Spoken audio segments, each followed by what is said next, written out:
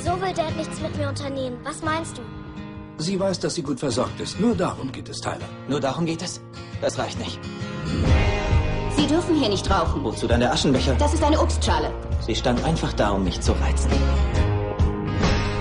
Du bist seit zwei Wochen total abwesend. Diese introvertierte Scheiße reicht mir jetzt. Ich werde jetzt mal eingreifen. Er hat eine Tochter. Wer hat eine Tochter? Der Bulle, der dich verprügelt hat. Hol sie dir. Ich stehe nicht auf Soziologiestudenten. Du hast Glück, ich bin noch unentschlossen. In Bezug auf was? Auf alles. Was gibt's zur Nachspeise? Ich esse meine Nachspeise zuerst. Was ist das? Das ist unsere Vorspeise. Charles, ihr Sohn. Ich wollte fragen, ob wir mal essen gehen. Mich kann er versetzen, aber nicht dich. Du kümmerst dich um gar nichts, wie ein kleines Kind. Du bist völlig daneben, oder? Sie denken, Sie kennen mich? Von wegen. Mein Dad hat keine Ahnung, was hier läuft. Was läuft denn hier?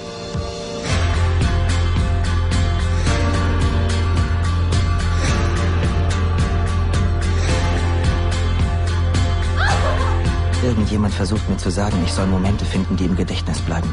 Daran arbeite ich noch.